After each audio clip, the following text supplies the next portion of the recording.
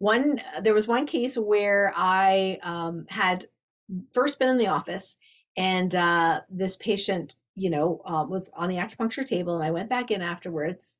I said, "How are you doing?" She goes, "Oh, I'm doing just fine. I'm just wondering, do you have something wrong with your light?" And I said, "My light," and she said, "Yeah, it's been flickering." And I thought it doesn't flicker.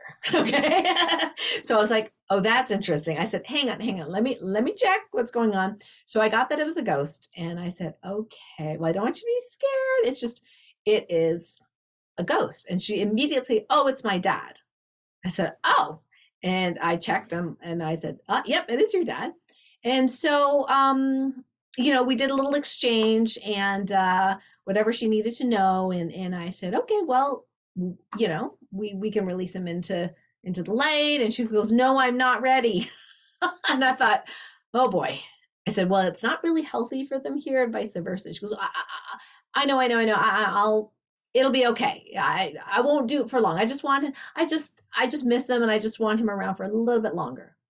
I'm like, okay. So I thought this is a little odd. Normally we just heal the ghost, and I said, okay. So we just made a mental note. Well, you know, not that long afterwards, I can't remember whether it was weeks or days, but it wasn't more than three weeks' time. I'm in bed and I'm just reading and doing something else, and then the lights flicker. and I was like, and my husband comes in, doody doo. I'm like, wait. Back then it was very serious. I was like, wait, there's a ghost here. And he's like, okay. And he just drops out, out of the out of the room, right? So I'm testing and I'm testing who is it. And well, it, long story short, it was the dad. It was her dad. I said, oh, I'll call her Jane. Um, that's not her real name. I said, oh, so are you ready to cross over? He's like, yep. And I said, is Jane okay with that? And he said, yes. So we did cross him over. And I thought, well, this could get interesting, and this this could become a full time job. But it wasn't like I was like, I'm in my pajamas, you know, in the bedroom. It's a little bit vulnerable feeling. And then uh,